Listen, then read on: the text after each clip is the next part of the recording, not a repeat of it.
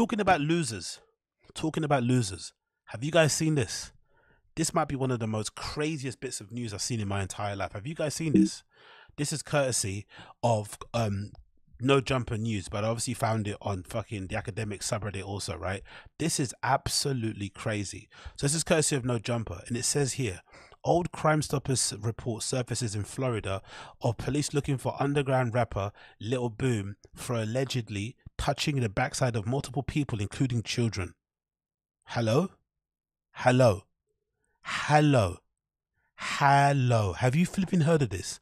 So if you don't, if you guys don't know, um, Little Boom is one of Akademiks' right hand men He's part of the chat niggers. If you know that whole group of people, basically it's kids and guys that are into Akademiks and you know they tune into his stream and shit. He calls them chat niggers, and he's one of the you know the leading voices of the chat nigger crew. And somebody found this news. Somebody found this flipping article, whatever it may be, that allegedly he was involved in this sort of nonsense where he was going to stores, a department store somewhere, I guess, and basically sexually assaulting random people, including fucking children. Can you imagine this? Let's go to the next slide. It says, so this is an old post from 2021 when it happened, right? Um, and I guess whatever area this is, this is, what area is this? This is somewhere in where? In Ocala. I don't know where that place is. Where's Ocala? Ocala is in Florida, I'm assuming, right? So this place called Ocala the police department put out this post on Facebook. Um, can you identify um, this person? We need to help identifying this person of interest. We have seen um, walking around the inside of a Walmart located on Easy Street. Jesus, the name of the the Walmart being on the Easy Street and him doing what he did is a bit disgusting. Inside Walmart, he inappropriately touched the backside of multiple people, including children. He left in a red sedan, possibly a 2011 Chevrolet Impala. If you have any information about this individual, please call the officer um, Prater at the number attached. And if you look, scroll down, obviously in the next slide, you'll see a picture of the guy, Little Boom, walking in the shop with his toes out and his pajama pants, going into the store, deciding to randomly start touching up people on their bums and shit. Can you imagine? and then obviously in the comments some of the mums and stuff are saying what the person allegedly did um, this is the same guy who followed me and my daughter around the whole store um, the person says here to be honest i don't know we hurried and paid for what we had and we just left he was acting absolutely weird. He had a buggy full of food and then left it down the aisle and then went to the other side of the store and was going down different aisles. So just acting sketchy. So one of, again, one of fucking Akademiks' right hand men is being accused of this. So it's been a pretty horrible week so far for Akademiks. He had that really embarrassing thing where the, that girl called Shay, Che Glizzy, um, Cheyanne, however her name is, um, this on and off girlfriend that's been a bane in his life really. She's super toxic, but for some reason, reason, Ak is madly in love with her also, and he can't seem to let her go. But she keeps exposing him and revealing crazy secrets about him. And recently, she was on live stream on the Instagram stories. Um, and he was in a very uncompromising position. Didn't look very flattering of him lying down on a chair somewhere, not looking like a prize. And then, according to Ak, according to Adam Twenty Two and Wack One Hundred, she allegedly sent Wack One Hundred a picture of Akademiks' dick and allegedly, according to Acad to Wack 100 and D Adam 22, Akademiks' dick is really small. It's almost like a micro penis, they're alleging, right? So I guess when they were beefing, when Cheyanne and Akademiks were going through some bad times, she decided to send this thing to Wack 100. And obviously, Wack 100 being the, you know, the consummate um, snake and the consummate um, troublemaker that he is, he kept a hold of that copy of that picture, and now he's basically, you know, taunting Akademiks about it, and he hasn't responded yet or said anything about it. But I'm sure Akademiks must know by now that more than likely that picture, that dick pic that his girl or his on and off girlfriend sent to Wack was probably going to get out somewhere or the other. So be please brace yourself. Please brace yourself. You're probably going to see um, Akademiks' wee wee um, somewhere on social media very, very soon. Most unlikely, these guys are too chatty patty. They're way too gossipy. They're way too backstabby and snaky to keep it to themselves. Most likely, you're going to see, um, you know, academics Akademiks' tiny PP up close and personal. So that's the first thing about this little boom guy. Then there was an update regarding it also on here where 1090 Jake and Little Boom went back to back. Um, sorry, went um, back and forth regarding the whole affair. 1090 Jake responds to Little Boom allegations, and in the tweet, in the caption here, in the next slide, you'll see what what he said to him. The caption's got what it says, and then obviously in the replies, Lil Boom said, "This is cap, nigga. If this is true, I'd be on the fucking registry." And then 1090 Jake says, "You sure about that?" Because I'm assuming 1090 Jake may have the flipping documents about him, right? And there's obviously some video proof here of the documents of what that kind of Lil Boom guy did. And then I think we're going to get some actual um, information on what actually went down here. If we kind of scroll up, there might be some actual extra details if we can kind of spec it out. Bear with me a second. It's there. Here we go. So this is the paperwork. So again, the internet is horrible, right? Because when this stuff happens, um, there's loads of paperwork fiends out there. Um, the paperwork side of social media decides to just, you know, jump on it and say, hey, if this is true, especially if it involves kids, they're gonna flip and dig it out. So Little Boom kind of, you know, goaded people into saying it wasn't true, and now it's been proven that it mostly likely is true, and there's a police report around it. So this is a police report um, that you can see here what's it say? If you zoom in a little bit it says the arrest affidavit appearance form for Ocala police.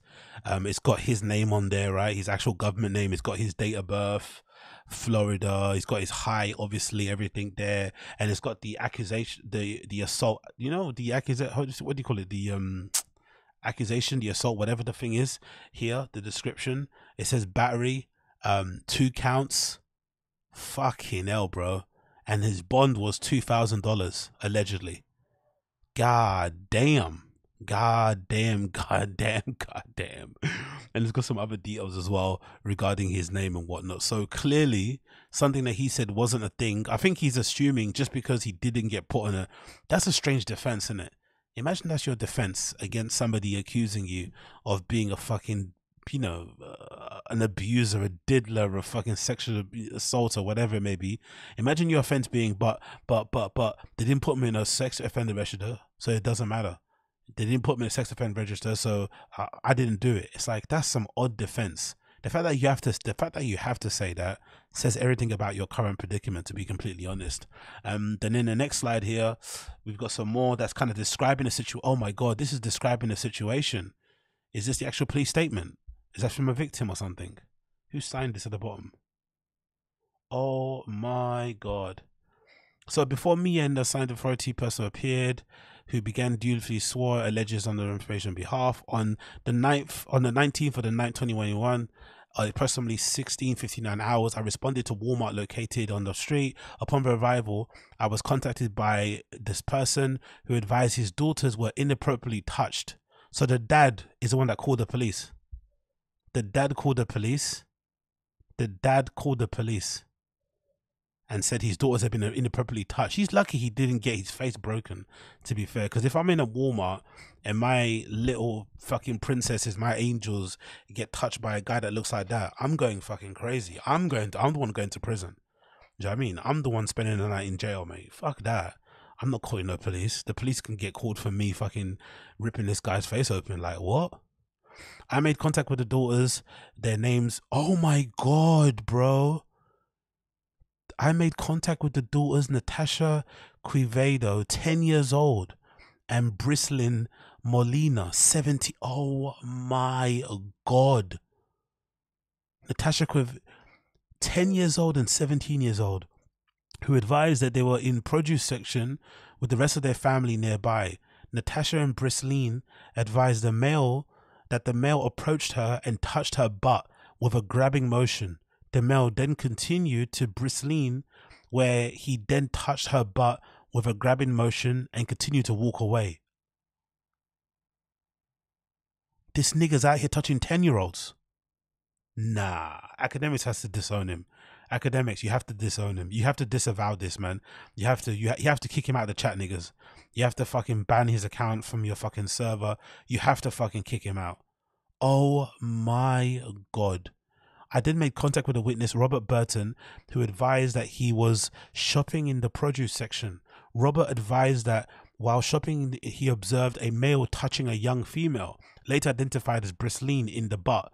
Robert explained that Brislin looked up at the male and made eye contact with the male before the male finally walked away. The suspect was described as a tall black male, 20 to 30 years old, with afro style hair, wearing a long sleeve blue shirt and pajama pants with afro style hair. oh my god. Akademiks, man. The company you keep. Again, this isn't his fault. I understand. But Akademiks, the company you keep, these are the same guys that get on fucking fresh and fit. Imagine, keep this in mind. These are the same guys that get on fresh and fit and they start barking. They start barking at these random OnlyFans girls and start shouting at them and the you know and the fucking the you know whatever that fucking word is, right? Taking the fucking piss out of them, making them feel less than, questioning their fucking you know questioning their viability of their fucking occupation, all this sort of nonsense. But this is what they're doing. You got Akademiks screaming at his one of his girls in that shopping mall, that epic fucking or the casino, that epic fucking clip of him screaming, "I'm the prize," and one of his boys is doing this. One of your fucking right hand men, one of your codees, one of your fucking gang gang gang, is out here touching fucking ten year olds in Walmart. Nah, this guy's got to be fucking electrocuted. He's got to be hung. He's got to be lethal injected. He's got to be buried under a jail. Then when his body fucking rots, he's got to be dug up again and then thrown and scattered across the ocean. Honestly, this is disgusting, bro. Contact was made with the loss prevention um, Robert whatever, who allowed me to view the video surveillance. At 14:39 hours, I observed red sedan, possibly a red Chevrolet Impala, um, with the black rims entering the parking lot. And I then observed a a BM a black man matching the previous description, I guess, of exit the vehicle. I then observed the approximately 1640 hours the male or the produce section walking around. At this time, Brisley and Natasha were standing at the produce display sectioning items. The male then approached Natasha from the rear, touched the butt area, which then when Natasha, Natasha jumps away from the man, Natasha and Brisleen walk towards their mother. Sarah and the male proceeds to close to them. The male then turns around and walks towards Brisleen and proceeds to touch her butt area. The male walks away and walks through the grocery area and eventually goes back to the produce department. At approximately 16:49, I observed the male approach an unknown black female wearing a brown shirt and pants from, and um, it appears the male attempts to touch the, the woman's butt, but the female does not react. The female then walks towards forward steps, and the male touches her butt again, which then the female turns around and stares at the male. I, sh- I, it no, it should be noted that I had not been able to contact this victim, so he touched the. No- Honestly, man, black guys are down bad. Uh, he's not part. I'm not part of this contingent because these are American dudes, but this is really, really dodgy, man. This is so bad, man black boys are down really bad, man. We're down fucking a hundred and million points. This guy's out here touching 10 year olds and random women in the fucking Walmart. Fuck, bro. This is such a fucking L. This is such a big L. This is such an L. Yikes. Next slide. Um, more police report here. There's more, more fucking, more conversation, more bits and pieces of his fucking nonsense. Upon arrival, I made contact with Darian Hester, who was an uncooperative and refused to provide any information. I made contact with Paul uh, Myers, who is registered of owner of the Chevy Malibu, and also advised that she is Shannon Adams' mother. I asked Paula about Shannon using her vehicle, and she acknowledged that Shannon took it to Walmart. Paula acknowledged the fact that Shannon is also known as a Little Boom.